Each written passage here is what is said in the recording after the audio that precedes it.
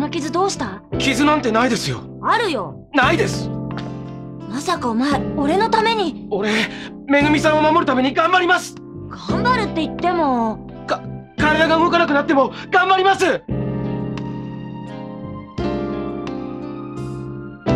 メグおはよやあジミー。あおはよやっぱ男だねお前。うな何があったんだよ！うじゃあ行きましょうめぐみさん。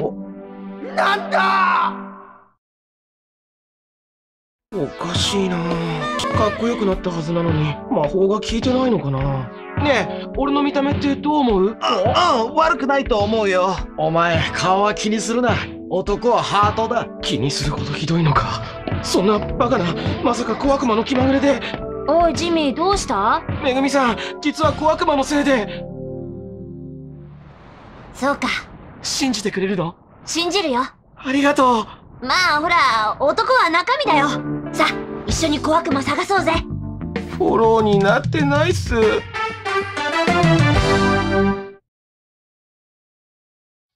お前大丈夫か？不幸なことばっか起こってるらしいじゃねえか。下着泥棒。俺？こいつはそんなやつじゃない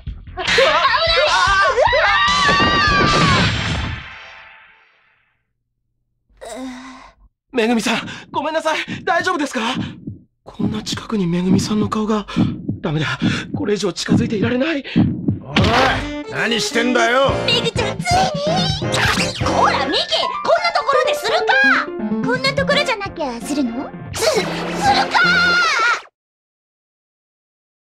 俺まともなやつの家に行くの初めてだ。任せてください。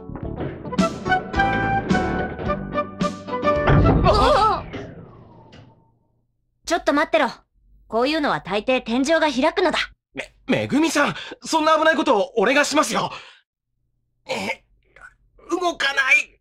やっぱり俺が。びくともしないな。めぐみさんこのまま戻れないかもしれない男としてお願いがあります。必させてください。男としての一世一代のお願いです。分かった。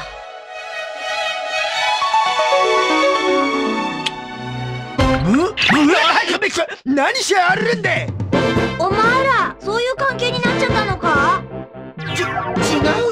ちゃん俺は姫様を助けに。俺も違うよ。嫌なのか？嫌だ。俺だって嫌です。俺の方が嫌だ。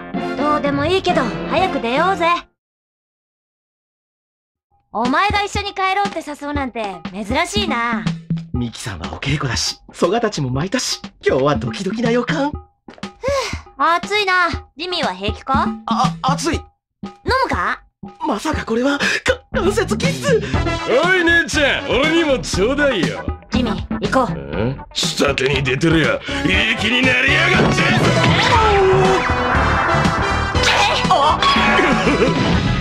ジュース。投げちゃった。ごめんな。安田